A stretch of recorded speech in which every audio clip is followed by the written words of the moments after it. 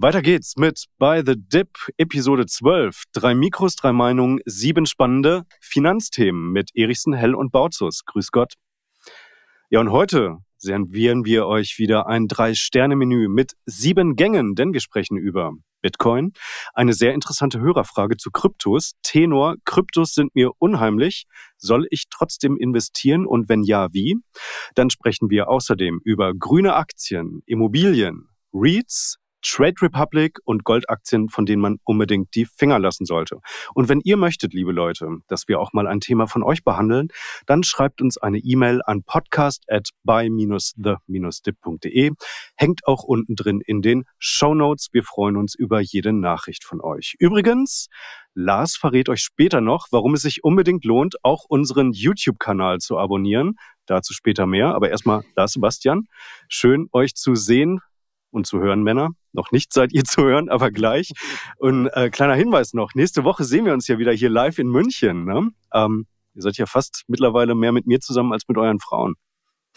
Ja, kann man so das sagen. Ist das, das, ist das Geheimnis jeder guten Ehe. Lieber mit den Podcast-Buddies rumhängen, als dann zu Hause zu sein. Ja, äh, das müssen wir wahrscheinlich wieder schneiden oder auch nicht. Naja, schnell rein ins erste Thema. Äh, Bitcoin unglaubliche Rallye in diesem Jahr, äh, zuletzt auch nochmal in den letzten äh, ja, zwei Wochen unglaublich äh, gerannt, unglaublich zugelegt. Also ich glaube, year to date haben wir eine Performance von knapp 160 Prozent auf der Uhr. Ist natürlich die Frage, völlig überkauft das Ganze, kommt jetzt irgendwann äh, der große Rücksetzer? Was meint ihr? Also wenn ich gleich mal einsteige, ja, du hast recht, 160 Prozent in diesem Jahr Performance, 70 Prozent in den letzten drei Monaten. Also ordentlicher Anstieg beim Bitcoin, aber vielleicht bin ich nicht der richtige Ansprechpartner für Bitcoin oder sogar doch der richtige, weil ich neutral sein kann. Und deswegen, wenn ich mir den Bitcoin so ansehe, würde ich jetzt nicht einsteigen nach so einer Rallye, vor allem weil bei Bitcoin ja statistisch auch locker nachweisbar ist, dass der Bitcoin stark schwankt. Also dort mal eine 20, 30, 40 Prozent Korrektur, das kann schnell erfolgen und dann würde ich einsteigen, wenn ich denn in Bitcoin investieren wollen würde. Aber jetzt ist mir fast von der Charttechnik her, von allen Indikatoren her, zu kritisch, dass der Bitcoin hier mal richtig nochmal korrigiert. Also dem Gedanken kann ich natürlich nur vollumfänglich zustimmen, weil es äh, ja Monate ja, Jahre gab, in denen man hätte einsteigen können. Und deswegen die grundsätzliche Entscheidung, will ich einsteigen, will ich überhaupt in Kryptos investieren, ja oder nein, die hat man ja vorher getroffen. Jeder, der jetzt auf die Idee kommt und sagt, ah, vielleicht doch noch, wir kommen ja bei der Hörerfrage vielleicht in diese Richtung, das ist natürlich der klassische FOMO-Effekt und der ist in den seltensten Fällen ein guter Ratgeber. Von daher stimme ich zu. Für mich ist insgesamt diese Rallye äh, gesund. Man muss sich Bitcoin, wenn man sich das im Chart betrachten will, immer logarithmisch betrachten. Das, da werden dann diese Volatilitäten teilweise ein bisschen geglättet und insbesondere auch im langfristigen Vergleich sieht man, dass Anstiege dieser Art in Bitcoin jetzt nichts Irreguläres sind. Insgesamt ist hier die Volatilität viel höher als in den allermeisten Aktien. Bitcoin hat es gerade wieder in die Top 10 geschafft. Das heißt also, wenn ich es richtig gesehen habe, es gibt acht Aktien, acht Unternehmen, die sind mehr wert als Bitcoin. Und wenn man Bitcoin jetzt als Unternehmen betrachten wollte, wären sie, wie gesagt, jetzt eines der zehn teuersten Unternehmen. Ich glaube, dass diese Rallye noch nicht zu Ende ist, aber absolut richtig. Also eine technische Reaktion, ob von hier aus oder 10 oder 15 Prozent höher, die wäre absolut mal verdient.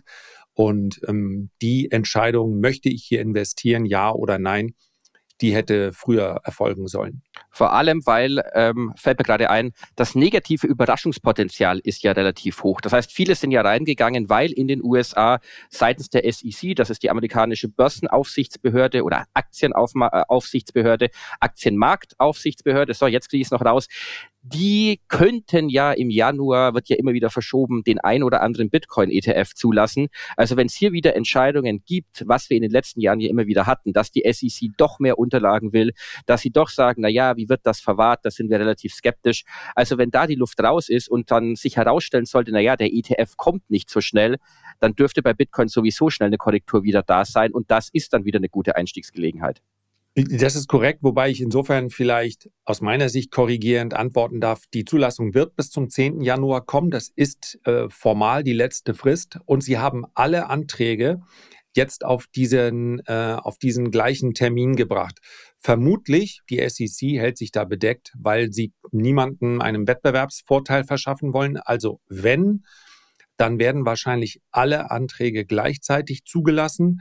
Und äh, glasklar, in den aktuellen Notierungen ist die Wahrscheinlichkeit von höher als 90 Prozent drin, dass diese Zulassung kommt. Wenn sie nicht kommt, dann gibt es garantiert äh, einen Crash von 20, 30 Prozent.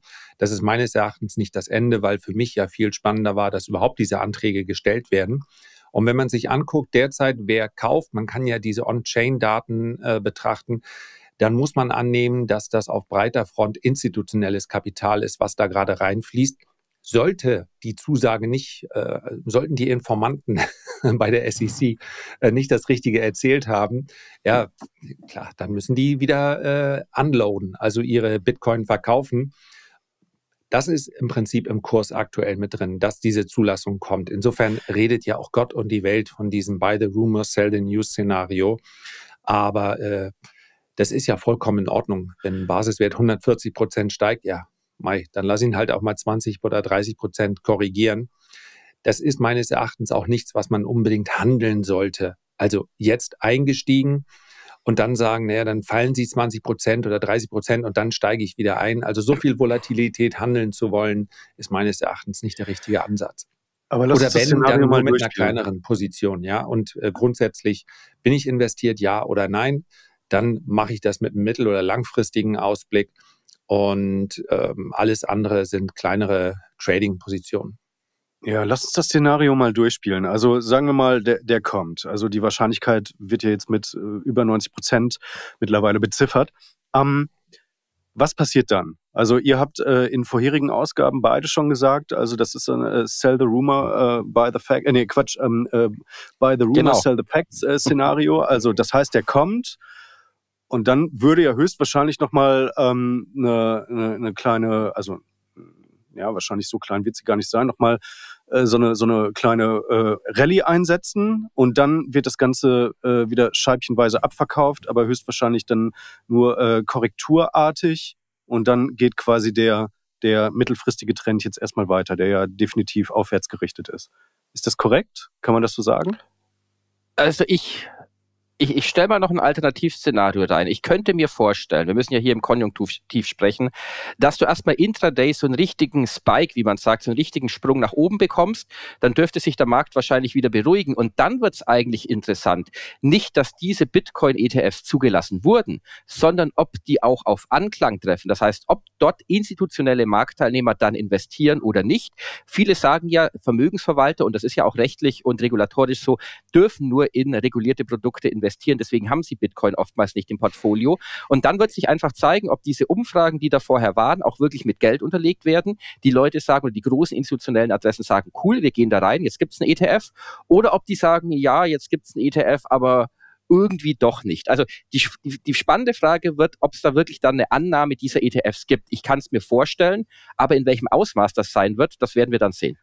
Sonst würde Larry Fink wohl nicht äh, so viel, äh, also sonst wäre er nicht zum, zum Bitcoin-Fan mutiert, wenn, wenn die ja, nicht also davon ausgehen auch, würden, dass, dass da wirklich vorher da ist. Ich denke nicht, dass ähm, äh, Larry Fink, BlackRock ist natürlich deshalb ein gutes Beispiel, weil Larry Fink in der Vergangenheit sich ja mehr als einmal äh, skeptisch geäußert hat. So wie es gibt ja eine große Investmentbank, die keinen äh, das ist eigentlich auch nicht ihre Aufgabe, ist aber ein anderes äh, Thema. Also Jamie Dimon von JP Morgan hat sich in der letzten Woche sehr kritisch das finde ich ganz spannend, weil er natürlich weiß, dass das auch auf ähm, Gegenwind oder zu Gegenwind führt. Also er hat sich sehr kritisch zu Bitcoin geäußert. Also ich glaube, die institutionelle Nachfrage ist schon da und deswegen werden diese Produkte überhaupt ähm, aufgelegt. Und dieses Buy the Rumor, Sell the News, das, das ist natürlich auch schon wieder so sehr Common Sense. Jeder erwartet das dass es vielleicht auch äh, ganz anders kommt. Vielleicht gibt es auch keinen Spike nach oben, vielleicht gibt es dann auch erstmal einen Abverkauf oder es passiert einfach gar nichts äh, seitwärts. Also darauf zu wetten, man kann das sicherlich, äh, sicher betrachten mit äh, gespanntem Blick, aber am Ende ist es ja auch egal. Also die, die, die Tatsache, ich denke, das Potenzial ergibt sich noch, wenn institutionelles Kapital hier reinfließt. Aber man muss halt die Volatilität aushalten wollen. Und das ist nicht jedermanns Sache. Ich mache das im Übrigen momentan so. Ihr erinnert euch, wir haben über Solana gesprochen. Ja, über 28 Dollar wollte ich kaufen, habe ich auch gemacht. Und jetzt, die sind heute Morgen bei 72 Dollar angekommen. innerhalb kürzester Zeit. Ich gucke die mir einfach an und danach gucke ich auf Bitcoin und denke, ach, ist ja eigentlich ein ziemlich ruhiger Handel. Also du musst dir nur irgendwas suchen, wo es noch mehr abgeht, dann kommt dir auch Bitcoin gemäßigt vor. Ja gut, Bitcoin. Es bleibt spannend. Also wird mit Sicherheit nicht das letzte Mal sein, dass wir hier in diesem Format darüber gesprochen haben. Kommen wir zur Hörerfrage. George hat uns eine sehr interessante Frage, wie ich finde, eingereicht. Und zwar, ähm, Kryptos sind mir unheimlich. Ich hoffe, das ist jetzt wirklich der Wortlaut, den er in der E-Mail benutzt hat. Ähm, äh, ich habe es mir auf jeden Fall so notiert.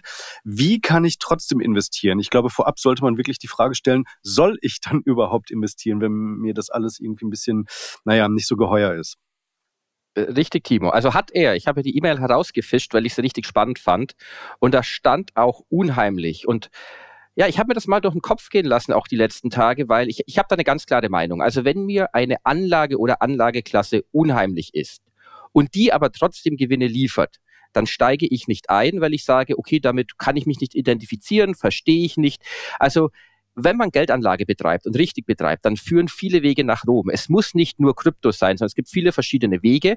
Je mehr man davon kombiniert, desto stabiler wird einfach so ein Depot. Das heißt, man hat Aktien, man hat Edelmetalle, man hat Immobilien, man kann Kryptos beimischen.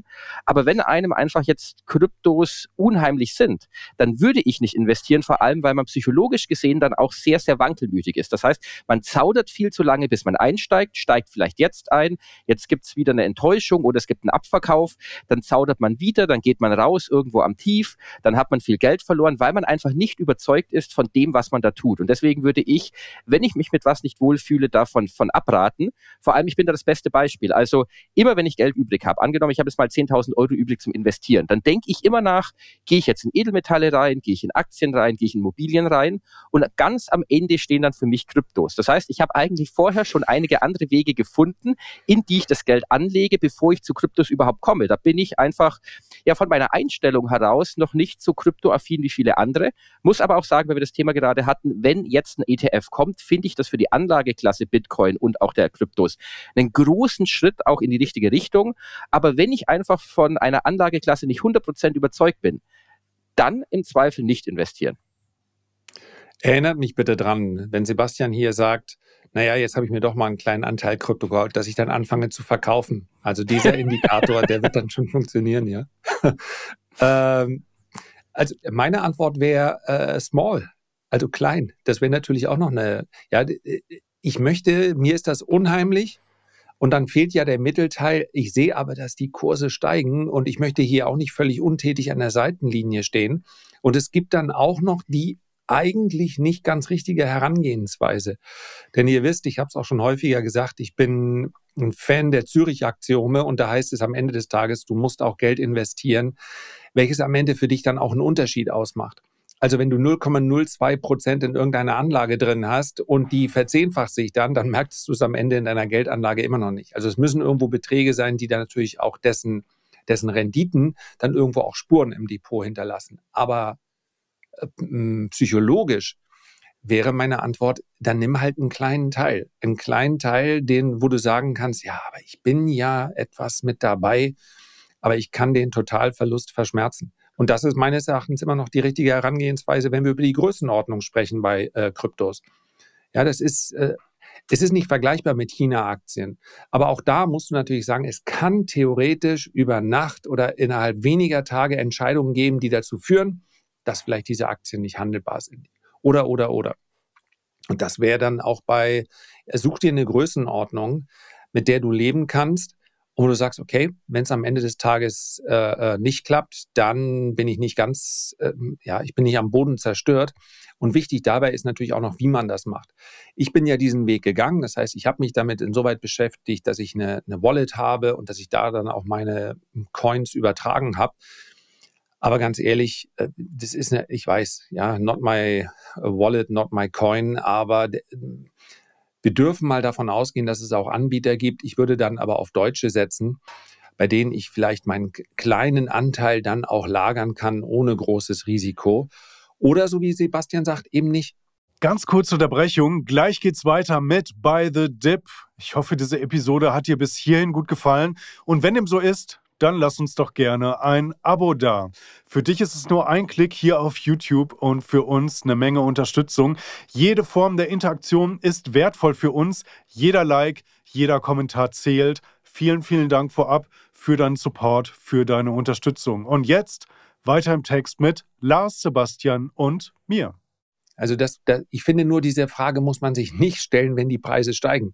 Das ist ja, wenn du dir jetzt, keine Ahnung, wenn du jetzt Platin anguckst oder Rohstoffe, du machst dir ja nicht, du stellst dir ja nicht die Frage, möchte ich hier investieren, wenn das alles wieder steigt, sondern musst ja vorher überlegen, will ich hier grundsätzlich investiert sein oder nicht. Und natürlich kennt jeder diesen äh, FOMO-Effekt, aber es ist eben wirklich kein guter Ratgeber. Und unheimlich klingt nicht so richtig äh, überzeugt. Ja, ich bin da ja. eigentlich äh, voll bei dir, Sebastian. Also einfach, wenn man, wenn das schon das Grundgefühl ist, mit dem man dieser Asset-Klasse gegenübertritt, dann sollte man eventuell einfach um, ähm, an der Seitenlinie stehen bleiben. Und oder ich finde den Gedanken auch okay zu sagen, also so ein Betrag, den man total verschmerzen kann, also irgendwas Kleines und entweder äh, ist der weg und dann tut's auch nicht weh oder man ist halt ein bisschen mit dabei und naja, kriegt zumindest mal ein Gespür dafür, äh, wie das ist, dann finde ich das okay. Mm, was ich noch mir notiert hatte als vielleicht eine Idee, die man auch mit umsetzen könnte, ist, ähm, also ich habe ein, ein Blockchain-ETF, äh, äh, das Ding von Invesco habe ich und ähm, der ist jetzt natürlich im, im Zuge dieses ähm, Kryptoanstiegs in den letzten Wochen. Also ist der auch ganz gut mitmarschiert. Da ist man natürlich nicht rein Krypto investiert, aber da sind halt Coinbase und MicroStrategy, also da sind im Wesentlichen auch Aktien drin, die so ein bisschen ähm, äh, natürlich positiv korrelieren mit mit äh, dem dem Bitcoin-Preis oder insgesamt mit mit äh, Kryptoassets. Und insofern könnte man vielleicht sagen, ja, also um sich mal so langsam anzunähern, wäre das vielleicht noch mal ein Umweg. Aber ich weiß nicht, ob es das jetzt wirklich so 100%ig trifft. Also das ist dann natürlich so äh, von hinten durch die Brust so ein bisschen. Das muss man äh, ganz klar mit dazu sagen. Ich würde nur gerne noch hinzufügen, also wir, wir reden natürlich heute immer ganz viel von äh, Vertrau deinem Gefühl und ähm, äh, du kannst machen, was du willst und freie Meinungsäußerung und und und. Aber im Idealfall ist natürlich das Gefühl, ist mir unheimlich, ein Gefühl, es ist mir immer noch unheimlich. Denn so ein Entscheidungsprozess, der beginnt ja nicht aus dem Bauch heraus, sondern der steht ja im besten Fall am Ende eines Prozesses, der sagen wir mal, intellektuell oder verstandesgemäß durchgeführt wurde. Also wenn ich mich gegen ein Investment entscheide, dann habe ich natürlich gewissermaßen auch die Aufgabe, mich vorher zu informieren, warum diese Assetklasse interessant sein kann oder nicht. Das wäre ja dann mal mein Vorschlag. Ich glaube, das passiert hin und wieder etwas zu selten. Aber es gibt ja durchaus einige Argumente, dann auch wirklich nachvollziehbare Argumente, mit denen ich mich auseinandersetzen kann, warum Bitcoin eine Assetklasse ist, die eine Zukunft hat. Also Store of Value in vielen ähm, schwächeren Währungen hat Bitcoin schon lange ein Allzeithoch erreicht. Ich kann es äh, ganz einfach auf einer Festplatte mit hin und her nehmen. Es ist in der Menge begrenzt. Mittlerweile ist das institutionelle äh, Kapital investiert oder daran interessiert zu investieren. Und all diese Jetzt Dinge kann ich mir ansehen. Es gibt einige ganz gute äh, Bücher. Ich kann ja hier nochmal meine erste Lektion in die Kamera reinhalten. Ähm, es ist so ein bisschen so ein Standardwerk, heißt jetzt auch der Bitcoin-Standard. Also ich finde, äh, wenn wir über Geldanlage sprechen, dann haben wir natürlich auch eine gewisse Verpflichtung, das mit einer, mit einem qualitativen Anspruch zu machen und sich damit zu beschäftigen in dem Sinne, ach Mist, ja, ich habe hier den Kursverlauf, das habe ich ja total verpasst. Also, und das passiert ja auch total häufig, ja, das wird sowieso verboten von der Regierung, die werden sich nicht das Butter, die Butter vom Brot nehmen lassen und so weiter. Also nur weil ich jetzt irgendwie eine, eine Rendite verpasst habe, dann die Anlage einfach schlecht zu reden und zu sagen, da taucht alles nichts, ich kaufe lieber Gold ja, das ist, also jedem das seine. Nur äh, ich würde mich wohler fühlen mit einer Entscheidung pro oder contra, wenn ich mich vorher äh, damit auseinandergesetzt hätte. Sehe ich genauso. Überzeugung ist das Wichtigste. Ja gut, es fehlt natürlich ein bisschen vielleicht auch äh, Kontext. Hat er das ausgeführt in der E-Mail, der George, äh, wie er das meint mit, mit dem Unheimlich eigentlich? Also ich habe so verstanden, dass es ihm einfach suspekt ist, aber natürlich hast du dieses FOMO, dieses Fear of Missing Out. Mhm. Krypto steigt wie verrückt, alle verdienen vielleicht im Freundeskreis Geld. Du findest es selbst natürlich jetzt nicht so prickelnd, in Krypto zu investieren, weil du es nicht verstehst oder nicht eine Affinität dazu hast. Da gehöre ich ja auch in dieses Lager mit rein, also da bin ich ganz offen. Aber dann sage ich ja, okay, da, ich wünsche jedem, der mit Krypto Geld verdient, aber ich habe halt dafür genug andere Anlageklassen. Und ich finde, wir haben mittlerweile so eine große Auswahl, wir haben so eine ja, Demokratisierung der Geldanlage, auch für den Privatmann, dass du mhm. mittlerweile alles kaufen kannst, überall. Deswegen, man muss nicht bei dem dabei sein, was jetzt steigt. Und wenn, dann müsste man überzeugt sein, weil. Das war, das war, man muss ja nicht immer da dabei sein, wo es steigt. Man kann das ja auch war's. einfach mal in seitwärts laufenden Assets. Man kann ja sein. einfach mal nur China kaufen und nur alles, Oder was fällt und, und nur Gold. steigt aber auch, mein lieber Freund.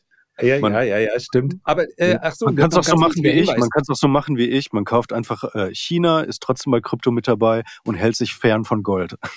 so kann man es auch machen. Und, und verpasst Uran, genau. Aber und verpasst Uran, hat, hat auch überhaupt keine Ahnung von Uran, ja. Das, äh, Richtig so. Aber vielleicht könnten wir den George ja noch einladen. Äh, und zwar am äh, 27.12. haben wir nämlich gesagt, ja, wir können uns einfach nicht von euch loseisen. Und nee, tatsächlich haben wir so viele Fragen bekommen und jede Woche beantworten wir gerne eine. Aber wir haben gesagt, da, da muss noch ein bisschen mehr kommen. Vielleicht schon mal als in den Kalender eintragen, 27.12. und zwar live auf YouTube. Also unbedingt den Kanal abonnieren. Da bekommt ihr nämlich, wenn ihr die Alarmfunktion einschaltet, auch einen Hinweis darauf, dass es jetzt losgeht. Versprochen, die ersten fünf Minuten reden wir nur Unsinn und dann geht's richtig los. Wir werden live die Hörerfragen beantworten. Also, äh, ja, da freuen wir uns schon drauf. Das Technische klären wir vorher alles noch. 27.12. Genau. Und was Lars mit Alarmfunktion gesagt, meint, ne, oder? 18 Uhr. Noch keiner besoffen? Nee, nee, 18 Uhr ist eine gute Zeit. Und was ja. du mit Alarmfunktion meinst, ist die Glocke für die Jüngeren. Glöckchenfunktion. Ja, ja. Das Glöckchen, wenn es klingelt. Ja, genau. Dann einfach Einfach den, den Fernseher anmachen, den Computer und dann zurücklehnen, entspannen. Ach so, Fragen anreichen natürlich. Genau, und genau, dann sagt uns der George nochmal, wie er sich entschieden hat. Ja, George, ich hoffe, du hörst das, siehst das, bist herzlich eingeladen. Rüber zum nächsten Thema. Grüne Aktien vor Comeback 2024 mit einem Fragezeichen versehen, Sebastian. Richtig. Erzähl. Thema, das ich heute mitgebracht habe. Wir hatten uns ja vor ein paar Ausgaben mal über Plug Power unterhalten und dass wir jetzt dem Wert nicht so viel Potenzial beimessen und dass ja viele den im Rahmen des Corona-Hypes auch gekauft haben. Und was jetzt eigentlich spannend ist, wenn wir mal das übergeordnete Bild anschauen, so das Big Picture, wie es bei Galileo immer heißt, dann habe ich dazu einen sehr interessanten Artikel im Wall Street Journal gelesen. Und das Wall Street Journal hat sich mal die grünen Aktien angesehen, hat sich auch mal so die Bestandteile unter anderem des iShares Clean Energy ETFs angeguckt. Das ist ja so der Flaggschiff ETF im Bereich der grünen Investments, der jetzt unbedingt dieses Jahr nicht vorne dabei war, so etwa 30 Prozent minus. Die Stimmung ist schlecht, auch in Richtung der grünen Aktien, weil einfach viele super enttäuscht sind, dass die Aktien nicht das geliefert haben, was so 2020, 2021 erwartet wurde. Aber die Analysten oder Journalisten des Wall Street Journal haben sich mal die Situation angeguckt und sie sagen, es gibt drei Gründe, warum grüne Aktien im nächsten Jahr durchstatten werden. Zum einen die Zinsen. Das heißt, grüne Aktien sind hoch verschuldet, teilweise oft Fremdkapital von 80 Prozent. Das bedeutet, da ist ein ordentlicher Fremdkapitalhebel in diesen Unternehmen drin, weil die Projekte sehr kapitalintensiv sind.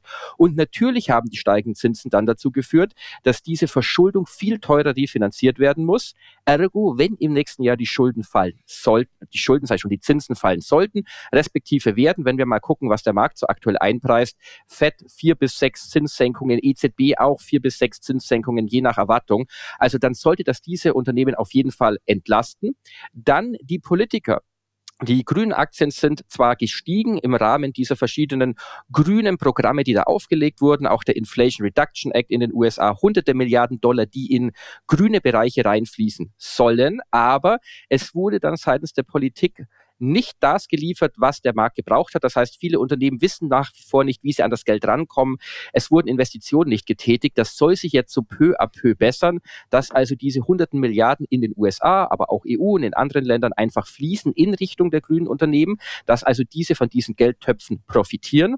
Und dann kommt noch dazu, dass das sogenannte Greenium, das heißt der grüne Aufschlag von grünen Aktien, der auch während der ja, Anfangs- und Mittelphase von Corona extrem hoch war, weil alle unbedingt grüne Aktien haben wollten, dieser Aufschlag ist mittlerweile abgebaut und nach verschiedenen Maßstäben sind grüne Aktien sogar unterbewertet. Sie sind jetzt laut Wall Street Journal nicht unbedingt billig, aber sie sind auch bei weitem nicht mehr so teuer und so gehypt, wie sie es früher mal waren. Also von daher werfe ich mal hier diesen, ja, diese Feststellung des Wall Street Journals in den Raum, dass grüne Aktien, auch gemessen jetzt am iShares Clean Energy oder welche auch immer, in der Gesamtheit, wir sprechen jetzt also nicht über ein Unternehmen, was nächstes Jahr durchstartet, sondern in der Gesamtheit, wenn man sich hier ein Paket von grünen Aktien kauft, im nächsten Jahr durchstartet starten könnten, weil einfach die, ja, weil einfach die, die, die Situation sich deutlich verbessern wird.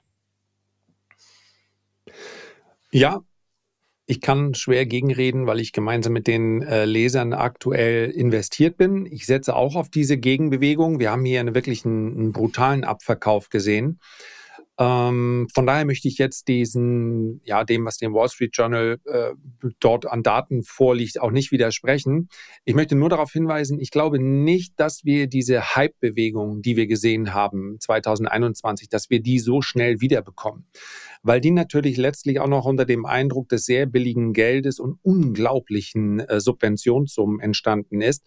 Was mir mittlerweile bei diesem konkreten ETF besser gefällt, ist, dass der Schrott raus ist. Eine Plug Power war da mal mit drin in einer höheren Gewichtung. Das äh, ist jetzt nicht mehr der Fall und ja, Plug Power, Fuel Cell, Ballard Power, all diese Wasserstoffwerte. Ähm, für mich ist es halt Crap. Und äh, die aktuelle Zusammenstellung der ETF wäre schon etwas besser gelaufen, hätte wäre wenn, äh, wenn da nicht auch die ähm, Offshore Windkraftunternehmen auch so groß mit drin wären in der Gewichtung. Eine Orsted zum Beispiel ist massiv abgestraft worden. Äh, bei Vestas, einer der größten Windkraftanlagenbauer, ist es auch nicht so gut gelaufen.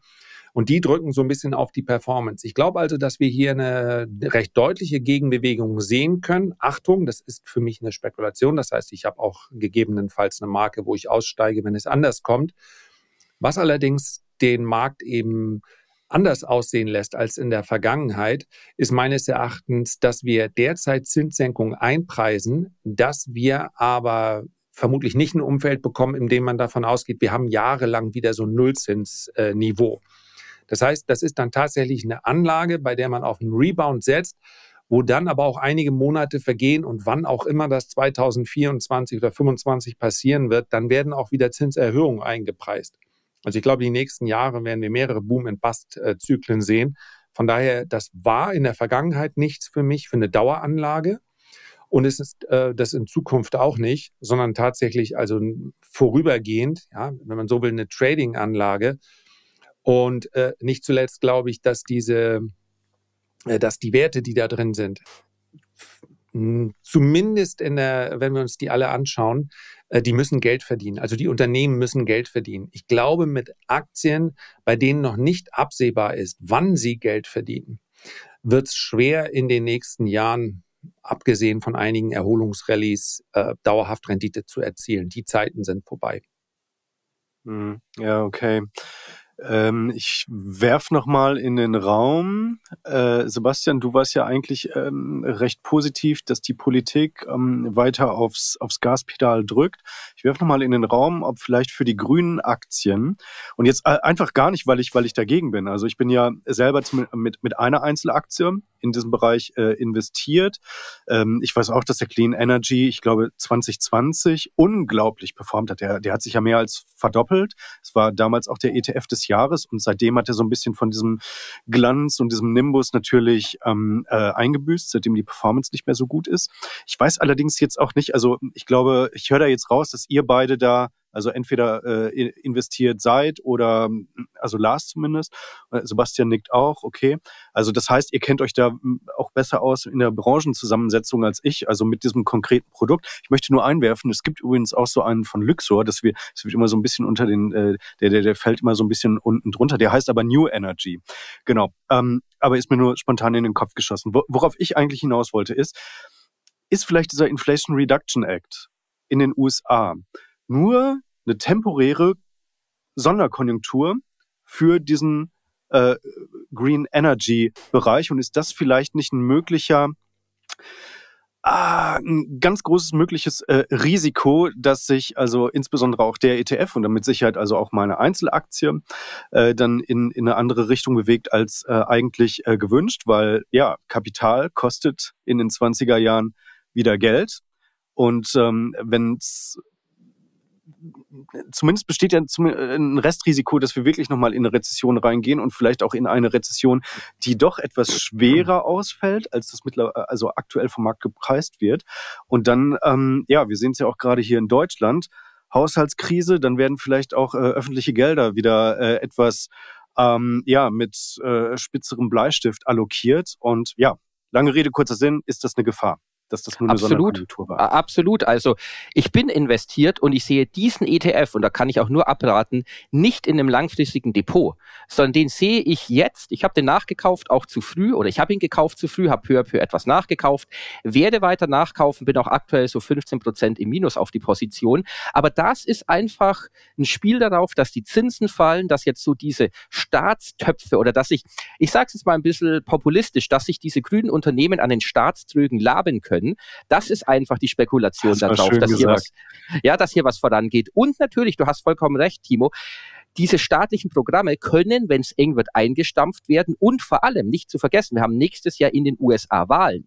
Donald Trump hat eine realistische Chance zu gewinnen und er ist kein Fan der grünen Aktien. Er ist kein großer Fan dieses ganzen Klimaschutz im Inflation Reduction Act. Das heißt, er wird versuchen, das zurückzudrehen, auch wenn er es wahrscheinlich nicht kann, weil viele republikanische Staaten massiv von diesen Investitionen profitieren. Aber da ist viel Politik drin. Das heißt, wir haben hier schon ein politisches Investment oder stark politisches Investment, welches auch eigentlich täglich oder wöchentlich überprüft werden muss und dann auch entsprechend mit Gewinn oder je nachdem, wie die Entwicklung ist, auch Verlust mal verkauft werden muss in ein paar Monaten oder ein, zwei Jahren, aber nicht langfristig. Also ich glaube, es war Nixon, der mal gesagt hat, ich sage es auf Deutsch, die gefährlichen Wörter der Welt sind, ich bin von der Regierung und gekommen, um zu helfen.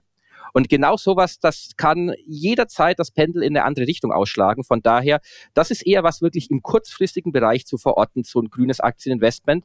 Aber für nächstes Jahr eine interessante Chance für diejenigen, die sagen, ich will auch was machen, wo ich näher am Markt dran bin und guck auch mal täglich in mein Depot rein. Ja, volle Zustimmung und ähm, äh, die Saxo Bank hat bei ihren äh, Outrageous Predictions gesagt, äh, was passiert, wenn Kennedy gewinnt. Das sollte wieder für die grünen Aktien dann, äh, also Robert F. Kennedy, ja. ähm, also ja, ich, ich stimme dem absolut zu. Ich bin auch noch leicht im Minus. Ich habe auch in zwei Tranchen gekauft und äh, wenn wir unter das letzte Tief äh, rutschen, um es mal ganz konkret zu sagen, dann, äh, dann steige ich auch aus. Ich, ich stelle mich nicht lange gegen einen Markt, der nicht in meine Richtung läuft. Äh, und von daher, ich kann mir aber, wenn eine Gegenbewegung kommt, kann die eben auch sehr schnell mal in Richtung 30, äh, 40 Prozent gehen.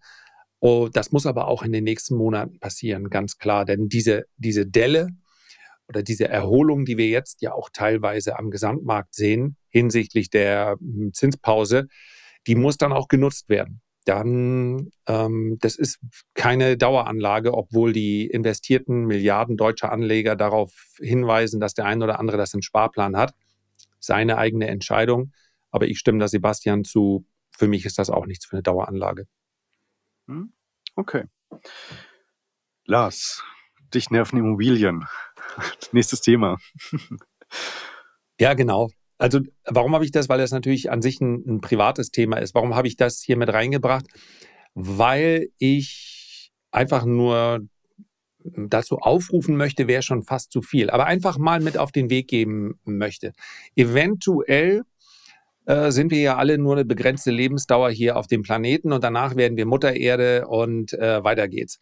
So, Und in diesem Zeitraum möchte ich doch eigentlich mein Leben so gestalten, wie das für mich einigermaßen angenehm ist. Und das heißt auch, die Geldanlage sollte sich vielleicht meinen Erwartungshaltungen anpassen.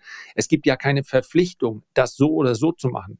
Es gibt ehrlicherweise noch nicht mal eine Verpflichtung, überhaupt Geldanlage zu betreiben. Wenn jemand sagt, mein gesamtes Ersparnis stecke ich in Lego, und der Mann lebt oder die Frau jeden Tag ein glückliches Leben, weil er da seine Lego-Sammlung sieht und damit auch bastelt, dann ist das doch perfekt. Das ist die beste Funktion, die du mit Geld haben kannst, ist, wenn es dein Lebensglück in irgendeiner Art und Weise erhöht. Mit und Lego kann man auch Geld verdienen, wird derzeit durch Immobilien nicht erhöht, weil mich viele Dinge nerven. Das liegt auch an dem Objekt. Ja, wenn du einen Neubau hast, hast du natürlich weitaus weniger zu tun damit, als bei einem Haus, was vor über 100 Jahren gebaut wurde. Aber das ist etwas, was ich immer, ich bin, bin kein Handwerker selber und ich bin auch nicht übermäßig immobilienaffin insofern, als dass ich Lust habe, da irgendwie zu projektieren und so weiter. Da gibt es ja ganz andere. Vielleicht wird Sebastian da gleich noch was zu sagen. Das heißt, wann immer ich mit den Handwerkern spreche, die Mieter sind ehrlicherweise alle sehr, sehr nett. Ich habe gerne mit Kontakt mit ihnen in einem begrenzten, Zeiten, begrenzten zeitlichen Umfang. All das, was da so gemacht werden muss, all das, was auch an Auflagen kommt. Wir erinnern uns, ja, Grundsteuer B, also wie lange man sich da durcharbeiten musste. Ich gehöre zu den, keine Ahnung, 60 Prozent der Deppen, die das auch alles gemacht haben, da in stundenlanger Friemelarbeit. Und ich kann, und darauf kommt es mir an, in dem Moment, wo ich, und das ist bei mir der Fall, praktisch keinen Fremdkapitalhebel mehr drin habe. Zweifellos, mit Fremdkapital gehebelt kannst du eine Rendite erwirtschaften. Das ist dir in anderen Bereichen so einfach nicht möglich. Aktien kauft man halt nicht mit Fremdkapital. Für mich ist es also eine reine Eigenkapitalrendite. Und wenn ich mir die anschaue bei so einer Immobilie und nicht annehme, dass sich Immobilien im Preis in den letzten, in den nächsten zehn Jahren so entwickelt, wie sie sich vielleicht bis zu Corona hin entwickelt haben, dann ist die Rendite so überschaubar, dass ich sage, warum nicht den ganzen Stress mir ersparen? Ich kann ja auch in Immobilien in der Assetklasse investiert sein über die Börse.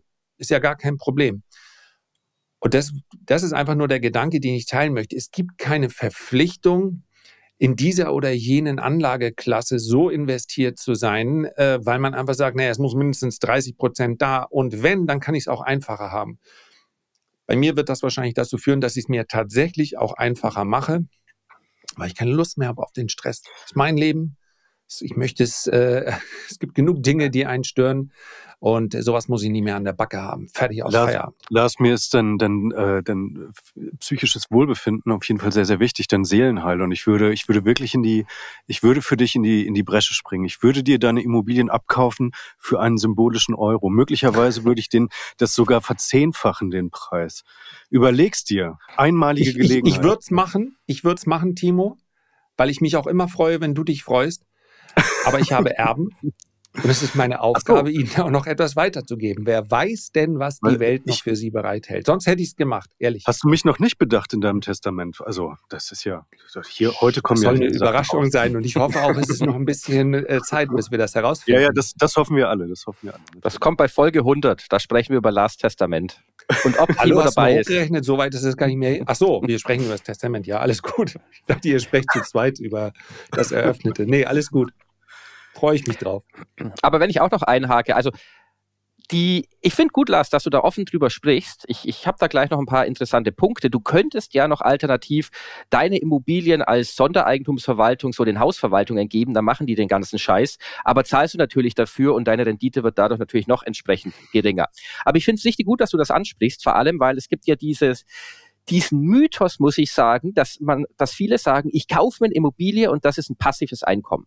Immobilien sind mit das aktivste, was man machen kann beim Einkommen, bevor man noch vielleicht ein Unternehmen gründet mit Angestellten. Aber wenn ich jetzt ein passives Einkommen will oder eine Anlage, wenn ich jetzt irgendwelche Aktien oder ETFs kaufe, naja, Elon Musk wird nichts von mir wollen, der macht sein Ding und ich gucke zu. Oder mein Schwiegervater in Spee, der sagt immer, Silber ruft mich nicht an, wenn der Wasserhahn tropft. Also das sind halt verschiedene andere Möglichkeiten. Aber wenn man in Immobilien reingeht, und das muss ich auch mal ganz klar sagen, dann muss man das schon wie eine Art Unternehmen behandeln. Das heißt, eine Immobilie zu kaufen und dann zu sagen, ja, da ist jetzt mein Geld drin und dann geht man 20 Jahre nicht mehr zu dem Objekt und irgendwie die Haus, Hausverwaltung wurschtelt darum und alle Handwerker wurschteln damit rum und alle verdienen gutes Geld, nur halt nicht der, dem es gehört. Das ist total falsch, weil viele kaufen eine Wohnung und wollen da nichts reinstecken und sagen, ach, der Boden, der ist 20 Jahre, der hält noch und das Bad ist 30 Jahre, das hält noch. Bloß nicht investieren, bloß nicht arbeiten, bloß nicht mit den Handwerkern rumschlagen. Und da muss ich sagen, die meisten Immobilien sind garantiert bei Privatleuten total falsch gemanagt. Also man muss sich so eine Immobilie wirklich angucken. Da muss man Bock drauf haben und sagen, was sind denn so die Marktmieten? Was kann ich denn rausholen, wenn ich investiere? Wie hoch ist mein Steuersatz? Wenn ich einen hohen Steuersatz habe, kann ich wieder viel abschreiben, kann nach zehn Jahren dann steuerfrei verkaufen. Also mir macht das riesen Spaß. Aber Immobilien sind super unternehmerische Geldanlage. Und ja. wenn du jetzt sagst, Lars, ich habe da keinen Bock mehr drauf, dann finde ich es richtig, dann lieber den ja, den Stecker zu ziehen und sagen, ich gebe die Immobilie ab, bevor das irgendwie vor sich so hinläuft und man hat keine Lust mehr drauf und, und es wird so, so ein schlecht laufendes Investment. Also ähm, das Ding ist, ich kann das total nachvollziehen. Also irgendwie, Lars, du kommst mir, also du bist ja sowieso äh, dafür bekannt, irgendwie äh, äh, Wertpapier, ein Wertpapier-Guy äh, äh, zu sein, sozusagen. Ne? Also ähm, äh, so, da, dafür kennt man dich, dafür stehst du. Ähm, in, insofern kann ich das deine Haltung auch total nachvollziehen, dass du halt einfach sagst, äh, nee, das ist, äh, das nervt mich da irgendwie. Ähm, aber Sebastian, ich wollte eigentlich fragen, woher kommt denn deine Motivation, dass du so immobilienaffin bist und da wirklich so richtig Bock drauf hast, wie du auch gerade gesagt hast? Naja, die Motivation zum einen kommt, weil ich schon immer Unternehmer bin. Ich hatte es ja mal in der früheren Ausgabe gesagt, ich hatte mal so im Studium die Wahl, da war ich schon selbstständig, wir haben Messen veranstaltet, hatten verschiedene Produkte, ob ich dann arbeite bei einer bekannten Investmentbank aus den USA oder ob ich halt ein Unternehmen gründe. Und wir haben dann während des Studiums ein Unternehmen gegründet, weil ich nie wollte, dass jemand mit meiner Arbeitskraft irgendwie Geld verdient, außer mir. Also ich bin da der klassische Unternehmer, weil ich auch in solchen Abhängigkeiten, also das, das meine ich gar nicht abwertend, aber ich, ich muss mich da selber entwickeln können, auch mit allen Risiken, die dann natürlich verbunden sind. Deswegen bin ich Unternehmer und deswegen macht es mir auch so Spaß, in Immobilien zu investieren, weil ich mir dann, ja, ich, ich gucke mir die Immobilie halt an und sage, okay, was kann ich da jetzt machen? Was, was muss ich reinstecken? Wie ist dann der Steuersatz? Welche Rendite kriege ich raus? Zu welchen Konditionen bekomme ich Fremdkapital? Welche Miete kann ich dann nehmen, wenn ich wieder aufwerte?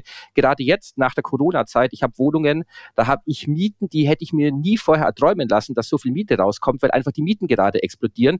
Aber halt wiederum für Objekte und Wohnungen, die in einem guten bis sehr guten Zustand sind, wo du auch einen neuen Boden reingemacht hast, wo du ein neues Bad hast, eine Küche, klar, das ist auch wieder Arbeit und Aufwand, aber ich mag auch die Lernkurve, die damit verbunden ist. Also von daher, das, ich, ich liebe in Immobilien zu investieren, auch wenn ich gerade mein Portfolio nicht ausbaue, sondern eher in die Immobilien investiere, dass die alle ja, energieeffizient sind, neue Heizungen, neue Böden oder was irgendwo ansteht. Aber das ist einfach eine aktive Anlageklasse und hat überhaupt nichts mit irgendwie passivem Einkommen groß zu tun, sondern muss sich ständig kümmern. Und es ist auch nicht damit verbunden, dass man sagt, okay, auf YouTube, ich meine, jetzt sind die Kanäle nicht mehr so bekannt wie früher.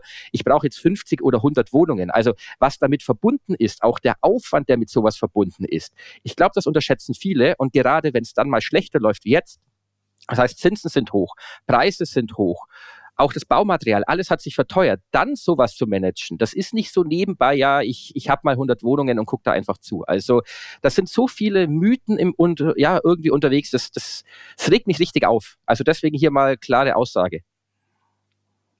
Sebastian on fire. On fire. Um, ähm, on fire. Hell on fire. Hell on fire. ja, das ist gut.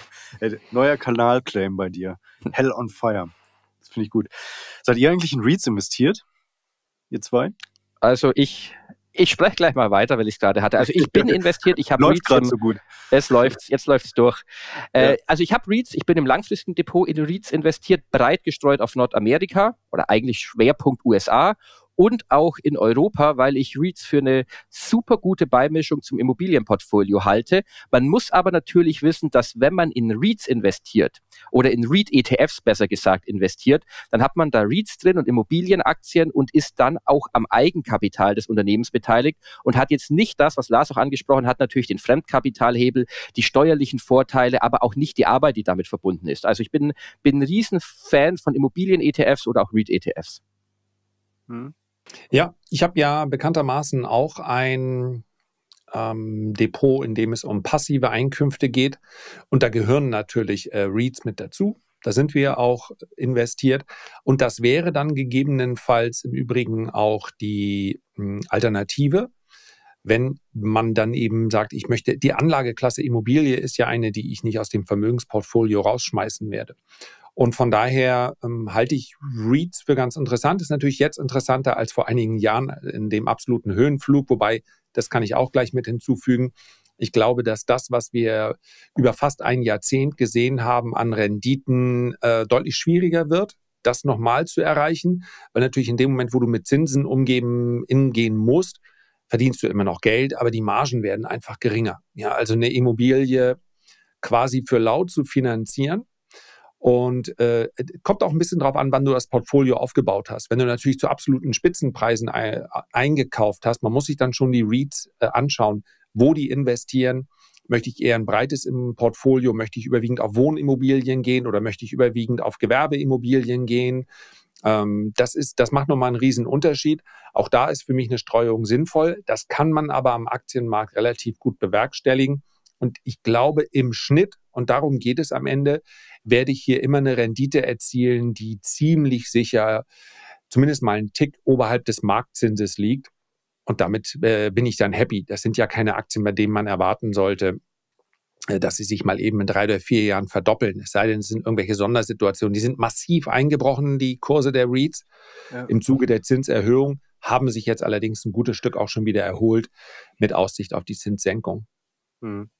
Ja, genau. Das ist nämlich äh, der Grund, warum ich sie äh, jetzt mitgebracht habe ähm, weil ich mich jetzt gerade damit äh, ein bisschen intensiver auseinandersetze, ob das äh, für, für mein Portfolio jetzt ab äh, im, im nächsten Jahr etwas wäre. Also die stehen äh, gerade bei mir auf der Watchlist und ich bin mir noch nicht sicher. Also ich schnupper mich da gerade durch die einzelnen Titel äh, mal so ein bisschen durch und ähm, äh, werde natürlich also auch de, äh, ein ETF äh, mir mal anschauen, ob das äh, eine, eine Alternative wäre. Ich habe halt auch gesehen, dass die Year-to-Date-Performances ähm, ja in diesem Jahr also nicht gut sind, äh, zum Teil sogar verheerend. Also ein Titel ist sogar sehr weit hinten, ich glaube äh, minus 60 Prozent, also die, die Medical äh, Properties, äh, da geht es um äh, äh, Krankenhäuser, ne? dafür haben die jetzt auch eine Dividendenrendite von 17 Prozent, also ja, aber gut, äh, die Höhe der Dividendenrendite, das haben wir ja schon, äh, schon mal in anderen Ausgaben auch äh, gesagt, das ist kein Qualitätskriterium. Man sollte da also auch auf andere Dinge äh, schauen bei den Dividenden. Also das heißt Kontinuität, äh, äh, stetiges äh, Wachstum, auch eine Historie äh, sollte vorhanden sein. Also das sind alles mit Sicherheit ähm, wichtigere ähm, Aspekte als jetzt äh, die die reine Höhe der Dividendenrendite. Aber ja, man äh, also was ich jetzt in meinem in meinem Kurz äh, Schnupperkurs äh, bislang so rausgefunden habe, ist, dass dass es äh, sehr große Unterschiede gibt. Also äh, von, von Krankenhäusern äh, bis, bis Einkaufszentren, äh, Wohnimmobilien bis zu Cannabis-Gewächshäusern ist da wirklich irgendwie äh, alles mit am Start. Und äh, genau, das ist äh, halt in ähm, dem Sinne, Lars, du hast es angesprochen, äh, ganz, ganz interessant, finde ich, äh, möglicherweise da jetzt ähm, Turnaround-mäßig mal, mal zu schauen, also einen einigermaßen günstigen Kurs zu erwischen und ja, so Gott will, und die wir wirklich 2024 ein Jahr, ein großes Jahr der Zinswende äh, erleben. Und zumindest äh, sind die sind die Chancen dafür jetzt nicht so schlecht aktuell, dass wir wirklich ein paar Zinsschritte äh, äh, wieder nach unten sehen werden. Äh, also nicht nur ein oder zwei, sondern äh, möglicherweise ein paar mehr. Ist das äh, etwas, wo ich wo ich ganz gerne gerade mal hinschaue, ohne Eile das, aber. Ich lasse gleich Sebastian zu Wort kommen, weil der sich in dem Sektor äh, auch noch deutlich besser auskennt. Äh, nur der Gedanke, nächstes Jahr kommen die äh, Zinssenkungen. Also äh, Immobilienpreise und auch die äh, Kurse von REITs sind ein ziemlich genaues Abbild. Wenn man jetzt mal so ganz äh, extreme, ähm, also wie heißen die, Innovative Industrial Properties, es gibt natürlich nochmal branchenspezifische Probleme und die sind im Cannabis-Sektor, deswegen sind die übermäßig abgestürzt. Und die gibt es natürlich auch gerade, wenn wir über den öffentlichen Sektor sprechen und so weiter. Also wenn wir jetzt mal den breiten Immobilienmarkt nehmen, dann ist das ein Abbild der Zinskurve, was wir dort sehen in den REITs. Und von daher gab es im Prinzip auch diese Gegenbewegung. Und diese Gegenbewegung preist momentan mindestens drei Zinssenkungen bereits ein äh, vielleicht bei dem einen oder anderen auch ein bisschen mehr. Also die Vorstellung, ich kaufe und dann sinken die Zinsen und dann sollte der Kurs darauf positiv reagieren, die ist meines Erachtens dann ein bisschen optimistisch. Von daher, ich ich finde es schwierig. Man kann Zinsprodukte natürlich handeln, das kann man aber auch einfacher und nicht über REITs machen.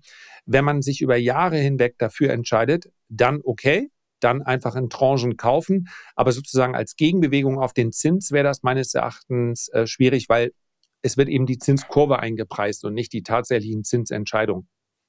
Richtig. Mhm. Ich würde auch, mhm. wenn ich jetzt kurzfristig okay. Mhm. reingehe auf die Zinsen, dann kann man sich mal einen REIT reinlegen als Hebel, dann kann man aber auch eine Anleihe nehmen oder einen Anleihen-ETF mit fester modifizierter Duration. Aber wenn du jetzt langfristig reingehst, Timo, dann würde ich in den ETF reingehen, weil wenn du einen Einzel-Read nimmst, dann musst du natürlich eine klare Meinung haben zu dem, was der macht. Also wird jetzt der Cannabismarkt boomen oder äh, Funmasten oder Funmeldemasten werden die boomen oder Logistik oder Malls und du hast in dem ETF halt einfach alles breit mit drin und vor allem auch Immobilienaktien. Also in Europa ist es beispielsweise Schwerpunkt auch in Deutschland nicht erlaubt, dass ein REIT in Wohnimmobilien investiert. Das heißt, du hast in Deutschland immer nur REITs, die in die Gewerbebereiche reingehen. Da musst du halt dann auch eine Meinung haben zu diesem Gewerbebereich, wo diese REIT mhm. investiert. Wenn du über einen breiten europäischen Immobilien-ETF reingehst, der verschiedenste REITs hat und verschiedene Immobilienaktien, dann finde ich, bist du langfristig am besten aufgestellt und so mache ich's. Und du hast immer noch so drei bis fünf Prozent Dividendenrendite aktuell. Die werden sich erholen, die werden immer ihre Dividende abliefern, die werden die Dividende weiter steigern. Und du musst halt jetzt nicht eine klare Meinung haben zu Krankenhausimmobilien. Ja, ja, ja, okay, klar, das, das leuchtet unbedingt ein. Ähm, nur, nur nochmal, also kein kein Turnaround, äh, keine Turnaround, äh, kein Turnaround-Aktiensegment äh, für ähm, die Erwartung, dass die Zinsen wieder sinken, sondern es ist eigentlich davon abhängig, dass sich die Zinskurve wieder normali normalisiert. Habe ich, hab ich euch beide richtig verstanden, ne? Ja, also die, das, was wir an Zinssenkungen aktuell im Markt enthalten haben, das ja. ist in den Aktien eben jetzt schon drin. Also ob mhm, sie ja, okay. äh, in, ja. invers oder flattening oder sowas ist, ist dabei nicht so entscheidend. Ähm, die, das ist quasi ein Vorläufer, weil natürlich mhm. ja, ein Großteil der Immobilien äh, mit Fremdkapital finanziert ist und deswegen das ist ähm, ja ein, ein klassischer Frühindikator ist der Immobiliensektor. Ja, okay, alles klar. Ja, das ist auf jeden Fall gut. Ja, schaue ich nochmal mit einem anderen Auge drauf dann. Also danke für die Hinweise. Gerne, immer. gelernt hier, wenn man hier mit, mit zwei der, ich habe es äh, hier in, in einem Video bei mir auch gesagt, wenn man mit zwei der besten Investoren Deutschlands hier äh, ja, zusammen, ja, ja. zusammensitzt. Danke. Dann, ja, dann, und ein äh, Unternehmer ist auch noch dabei. genau. Ja, und halt, und halt ich, ne? Und äh, ja. Genau. also, ähm, kommen wir zum nächsten Thema. Ach, das habe schon wieder ich mitgebracht. Ist ja, ähm, also Trade Republic. Trade Republic, Neo-Broker, möchte sich zur Vollbank wandeln. Zumindest sind die Chancen ganz gut. Sie haben jetzt eine Vollbank-Lizenz von der EZB bekommen. Das ist schon mal ein Indikator dafür, dass sie ihr Geschäftsmodell sehr wahrscheinlich verbreitern werden. Und ähm, deswegen, vielleicht gibt es irgendwann auch ähm, ja, Girokonto Republic, Kreditkarten Republic, Baufinanzierungs Republic, I don't know.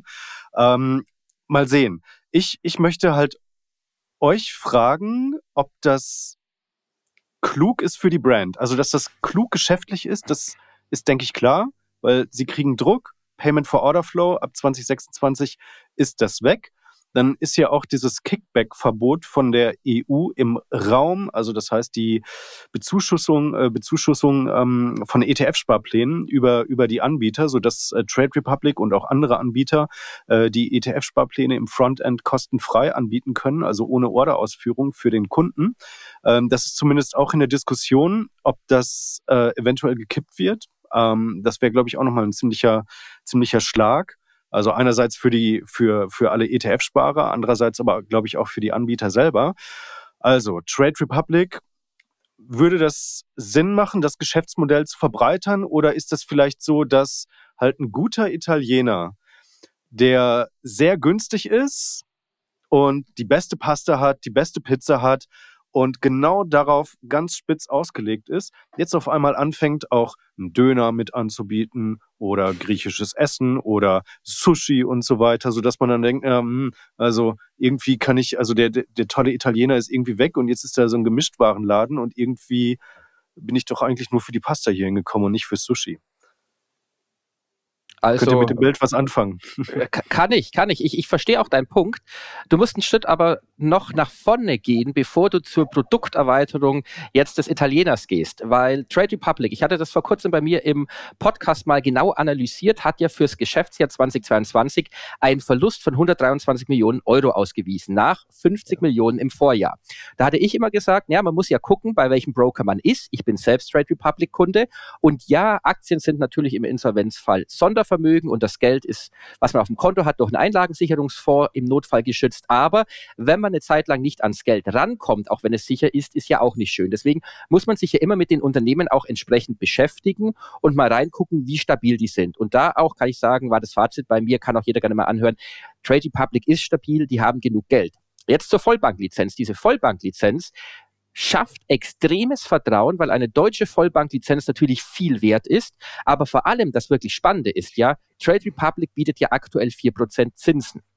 Die EZB für eine Vollbank bietet allerdings 4,5 Prozent Zinsen. Das heißt, Trade Republic kann als Vollbank bei der EZB das Geld für 4,5 Prozent anlegen und 4 Prozent weitergeben an die Kunden. Und zusätzlich ist auch ein Problem von Trade Republic, solange sie nur in Anführungsstrichen eine Wertpapierhandelsbanklizenz hatten. Sie mussten über die Deutsche Bank und die anderen Kooperationspartnern das Geld bei der EZB parken. Das heißt, Trade Republic hat wahrscheinlich aus dem eigenen Geldbeutel noch was draufgezahlt, weil natürlich die Deutsche Bank vielleicht nur 3,8 Prozent weitergibt und Trade Republic die 0,2 Prozentpunkte Differenz dann deckt. Das heißt, durch diese Vollbanklizenz könnte, wenn wir jetzt nur mal das aktuelle Zinsniveau nehmen, Trade Republic, mehrere Milliarden sollen wohl im Rahmen dieser 4 Prozent Aktion zugeflossen sein, für 4,5 Prozent dieses Geld bei der EZB anlegen, 4 Prozent an die Leute weitergeben und würde pro Milliarde 50 Millionen Euro an Geld einnehmen, zusätzlich. Das heißt, das ist ja erstmal der Weg in die Profitabilität zusammen mit dem guten Ruf. Und dann muss man halt gucken, ob Trade Republic einfach als Neobank dann spezialisiert bleibt. Du hast es gesagt, Timo, gibt ja, wenn man Revolut oder so schaut, gibt ja Kreditkarten oder digitale Kreditkarten, einmal Kreditkarten, die man digital hat, wenn man jetzt einem Händler nicht traut. Also mal gucken, ob dieses Geschäft dann verbreitert wird, ob es profitabel ist. Aber nur für den aktuellen Stand und diese Milliarden an Kundeneinlage ist die Vollbanklizenz pures Gold wert für Trade Republic und wird bestimmt nicht, die haben einen Sprung bringen. Meinst du nicht, die haben ja mit der Deutschen Bank oder Solaris und ich glaube äh, Citigroup, ich bin mir jetzt nicht ganz sicher, es gibt auf jeden Fall vier Banken, mit denen die äh, zusammenarbeiten und dieses 4%-Angebot, ich wette, dass die da sogar ein bisschen Profit mitmachen, weil, weil die ähm, dann provisioniert werden oder vielleicht einen, einen Anteil von, von der Zinsmarge abbekommen dann von der Deutschen Bank, weil aber warum nicht alles behalten? Ja, ja, klar. Das, nee, das, das leuchtet mir schon ein. Ist der Zwischenhändler weg, äh, dann hast du da äh, mehr, mehr Marge für dich. Das, das macht absolut, das macht absolut Sinn. Ja, ja. Ich, ich bin mir nicht mal so sicher, ob die da eine Reprovisionierung sogar kriegen, weil die Deutsche Bank ist so riesig, die sagt, na ja, dann nimmt halt einen anderen. Also, und da gibt's nicht so viele zur Auswahl. Also kann sein, aber auf jeden Fall wird diese Vollbanklizenz die Marge deutlich ausweiten, allein im, im Zinsbereich. Mhm.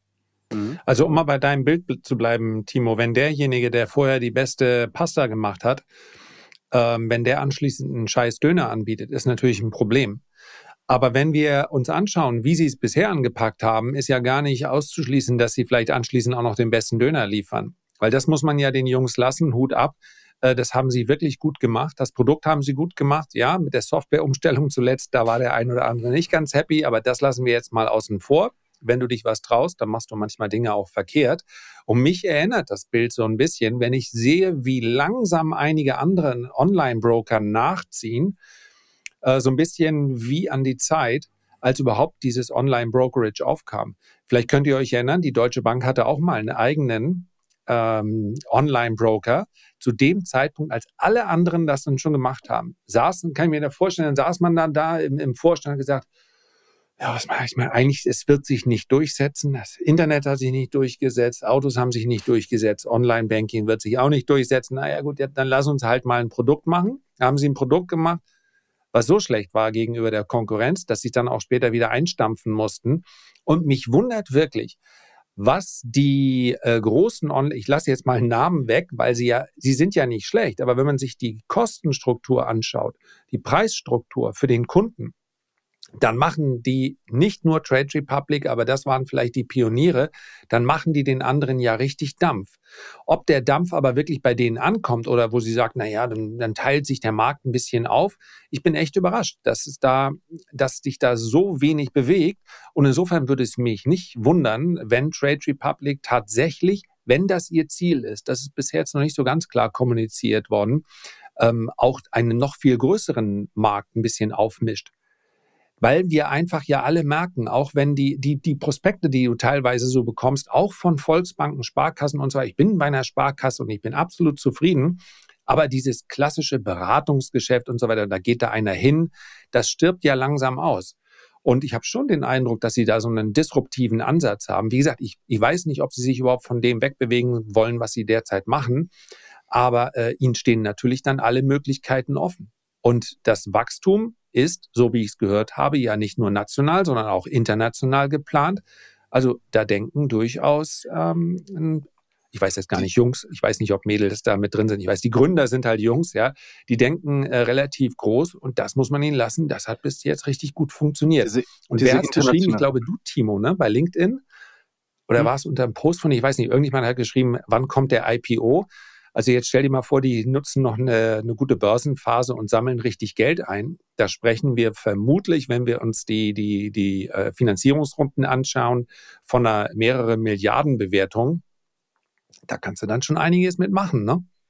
Also ich finde es ich find's ein spannendes Thema, ich finde es eine gute Entwicklung. Sie kann eigentlich nur im Sinne der äh, Kunden sein. Mhm. Ja. Ja, ich glaube, dann sollten Sie sich dann sollten sie sich fokussieren. Äh, also ich glaube, internationale Expansion plus sich zur Vollbank wandeln, beides funktioniert nicht. Ähm, ich stand dieser internationalen Expansion, ich, ich lasse mich gerne vom Gegenteil überzeugen, von dieser Europa-Expansion, ähm, äh, der stand ich sowieso kritisch gegenüber, weil ich nicht glaube, dass du halt mit einem deutschen Approach, mit einem deutschen Banking-Approach den italienischen, den spanischen, den niederländischen, den französischen Markt ähm, auf, aufmischen kannst, sondern ich glaube, dass das dass das sehr regionale, regional geprägte Märkte sind. Warum ist die Deutsche Bank oder die Commerzbank, warum haben die es äh, letztendlich nicht geschafft? Also irgendwie, klar, ja, die Deutsche aber das Bank. sind ja Operbanken. Äh, die sind ja uralt. Ja, aber die, ich mein, die haben es ja auch neu in den 90er, also oder in den 90er Jahren haben die es ja auch gemacht oder in den 80er Jahren, sind auch in die anderen Märkte gegangen. Die Deutsche Bank hat es noch einigermaßen solide hinbekommen, also auch so ein bisschen ähm, äh, Privatkunden äh. Da hast du ja auch in Rom und so weiter, siehst du da große Filialen von der Deutschen Bank. Das ist ja auch alles, das wird ja auch alles zurückgebaut. Und ähm, ich weiß nicht, ob das funktioniert, dass das halt so, so, so ein Fintech aber überleg doch mal, mhm. was ist, was ist denn der, ähm, was ist denn immer noch der, das Grundasset? Ich meine, der, der Spruch von der Deutschen Bank war ja mal genial. Vertrauen ist der Anfang von allem. Es gab halt das ein oder andere Ereignis, was dieses Vertrauen vielleicht erschüttert hat. Ich kann mir aber vorstellen, eine deutsche Marke, du wirst sicherlich sehr viel Geld ausgeben müssen, um diesen Trust einmal zu schaffen. Aber wenn du den Deutschen in Europa irgendwas nachsagt, sie sind sicherlich nicht die, die tanzen können. Sie haben gar keine Ahnung von Mode. Sie sind auch meistens sehr unsympathisch, sie sind quengelig, sie gucken sich die Rechnung nochmal an, sie geben zu wenig Trinkgeld. Hm. All das, sie, sie dominieren häufig die Diskussionen in Brüssel. Ursula von der Leyen wird auch so streng. Nichts ist eigentlich schön an Deutschen aus Sicht eines Ausländers. Aber dass sie am Ende sowas haben. Nicht so wie die Schweizer vielleicht, aber äh, genau sind sie dann schon. Und das Geld wird schon einigermaßen sicher sein. Also ich glaube, eine äh, deutsche Brand im Banking-Bereich kannst du durchaus aufbauen. Und äh, wie gesagt, ich bin, mir gar nicht so sicher, ob sie überhaupt den, den, den so groß denken.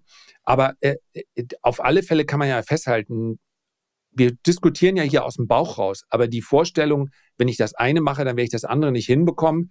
Das ist ja auch schon wieder echt deutsch, oder? Äh, nee, nee. Lieber Fokus. Mach eine Sache richtig. Lieber Fokus, hast du es jetzt wirklich gesagt? Mit deiner Vergangenheit sagst du hier lieber Fokus. Fokus mit K. Ach so. Ja, mit K. Äh, wieso? Gegen Focus Money kann man auch äh, nichts sagen. Also Absolut ich, nicht. Ich bin Nein. da, das, das ist nichts, wofür ich mich schäme. Da gibt es andere Grüße. Sachen. Aber sowas von gar nicht. Hast du das alles also, getragen da? Das, wie bitte? Du hast es getragen letztlich. Ja, oder die haben mich mitgeschleppt, wie man es wie man's nimmt. Ne? Aber ey, ähm, lass uns das in einem anderen, lass uns das gerne nochmal aufgreifen. Ich glaube, das ist Fall. eine inter interessante äh, Diskussion. Aber ähm, in Anbetracht der etwas fortgeschrittenen Zeit würde ich vorschlagen, wir gehen zum letzten Thema über, nämlich den Goldaktien. Und deswegen, das ist ein wichtiges Thema, den Goldaktien, von denen man lieber jetzt die Finger lassen sollte. Lars. So, ich gebe ganz offen zu, ich habe den Titel so gewählt, weil ich ansonsten mit Komma und zwei, drei Sätze äh, hätte was machen müssen. Also ich muss äh, ein bisschen, bisschen angeteasert, ein bisschen clickbaitig. Äh, für mich ist wichtig, dass man, wenn man auf Goldaktien setzt, ich lese halt ganz häufig, äh, der Goldpreis sieht meines Erachtens trotz dieses Abverkaufs des Bikes in der letzten Woche, mh, hm, bin ich bullisch auf Sicht der nächsten Monate und mehr.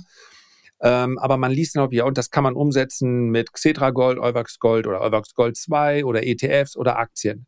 Und das ist eben nicht das Gleiche.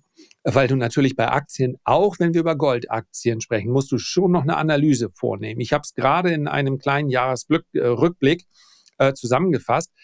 In den letzten drei Jahren, in den letzten vier, fünf Jahren eigentlich, seit 2017, haben sich Barrick Gold oder Newman äh, Gold, das sind die beiden ganz großen Produzenten, äh, haben sich unter dem Strich nicht von der Stelle bewegt.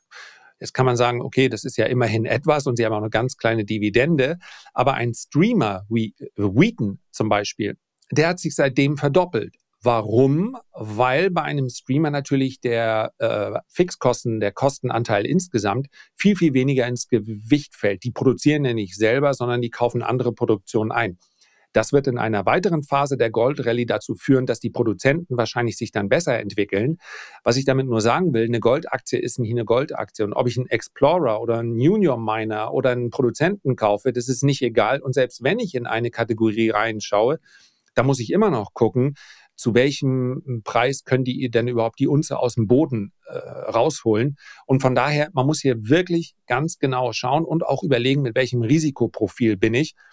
Und gerade da in dem Bereich, ich habe zwar meinen persönlichen äh, Favoriten, aber weil ich das jetzt gerade mit auch mit Lesern kommuniziert habe, wäre das nicht ganz äh, sinnvoll, das jetzt alles hier nochmal breit zu treten. Gerade da macht es, wenn man vielleicht profitieren will, Sinn, vielleicht über ein ETF zu gehen oder äh, auf entsprechende ETF beziehungsweise ETC-Produkte, äh, wenn man diesen Schritt der Analyse nicht gehen kann oder nicht gehen äh, mag. Absolute Zustimmung. Also Goldmarkt, ich hatte gestern auch eine Analyse gelesen, der ist ja mittlerweile extrem facettenreich, wenn man nur die Minen anschaut. Und du hast es ja richtig gesagt, Royalty oder Streaming, vielleicht noch für die Hörer und Zuseher. So ein Royalty-Unternehmen ist ein Unternehmen, welches einen Anteil vom Umsatz bekommt von demjenigen, der die Goldabbaustätte einfach ausbaut. Das heißt, die machen sich da einen schlanken Fuß und kriegen einen Umsatzanteil. Und die Streamer haben einfach eine Option, zu günstigen Preisen Gold zu kaufen, müssen sich aber auch nicht mit dem operativen Geschäft rumschlagen. Deswegen haben die natürlich aktuell einen großen Hebel. Die klassischen Produzenten aktuell leiden natürlich unter einem Margendruck aufgrund der Inflation. Energiepreise, Arbeitskosten sind natürlich deutlich gestiegen. Dann erschwerte Kapital Zugänge durch ESG. Investoren haben ja auch da etwas Abstand genommen in den letzten Jahren. Muss ich aber sagen, das, was die Kohleaktien waren vor einem Jahr, könnten als nächstes auch wieder die Goldminen werden, wenn die Investoren die entdecken, weil egal welchen Bewertungsmaßstab man bei den klassischen Produzenten anlegt, die sind brutalst unterbewertet. Heißt natürlich nicht, dass die morgen nach dem Podcast wieder steigen, kann auch noch ein halbes Jahr so bleiben oder ja, aber ich bin in Anbetracht dessen, dass der Goldpreis gestiegen ist und wenn er seinen Weg weitergeht, wie Lars sagt, dann werden auch die Produzenten brutal noch nach nachziehen. Die Frage ist nur wann. Also ich bin langfristig investiert in Goldminen, weil sie einfach so stark unterbewertet sind. Aber man muss auch ganz klar sagen, Goldminenaktien bewegen sich in Zyklen. Wenn man da mal einen langfristigen Verlauf anschaut, das geht nicht so nach oben linear, sondern da gibt es einen Punkt, dann gibt es eine Überproduktion und dann gehen die wieder nach unten. Das heißt, da muss man auch irgendwann mal Gewinne mitnehmen. Aber das wird wahrscheinlich erst in ein paar Jahren sein. Also da haben wir noch Zeit hin. Aber wie Lars richtig sagt, ja, wer sich die Analyse sparen will, der sollte lieber breit investieren und da eher dann in die größeren Unternehmen. Ich weiß, die Performance kommt natürlich auch von den kleineren umso stärker, je mehr der Goldpreis dann irgendwann steigt. Aber natürlich hat man da auch etliche drin, die dann einfach umfallen, weil sie es nicht mehr packen. Hm. Ja, cool. Ähm, ja, ich, da ich glaube, Timo, da, ja? Das interessiert mich ja fast noch weniger. Das interessiert mich ja noch weniger als äh, Uran. Also äh, ich nehme ich, ich nehme deinen äh, begeisterten Blick, dass du aktuell nicht in so vielen Goldaktien investiert bist. Ja, das hast du richtig interpretiert. Das ist. Wo steht denn eigentlich die Kamiko? Gerade. Oh. Wo steht sie? Die, die steht gut. Die steht gut? Ja, ja, die haben sich sehr, sehr gut entwickelt, äh, muss man sagen. Cameco ist also, super gelaufen. Warte mal, ich guck mal, ich guck mal in der App bei Trade Republic. Bei Trade Republic. Mit der Vollbanklizenz. Bei 40,90 steht sie gerade in Euro. Im letzten mhm. Monat 7% Gewinn. Wie viel Prozent letzten, bist du im Plus? Steht doch da. Ja, äh, 152. Holla, okay. die Waldfee, da braucht man natürlich mein auch kein Gott. Bitcoin mehr. Der Hell, ja, stimmt, stimmt. Der, der Hell performt alles weg. Ja gut, herzlichen Glückwunsch zu den 152 Prozent. Buchgewinn. Äh, Buchgewinn, Buchgewinn. Noch, noch ist das Ding ja nicht noch nicht äh, realisiert, das Ganze, genau. Ich verkaufe es bei 1000. Bei 1000 Prozent. Schöne Grüße nach Kulmbach. Genau. ja, sehr schön.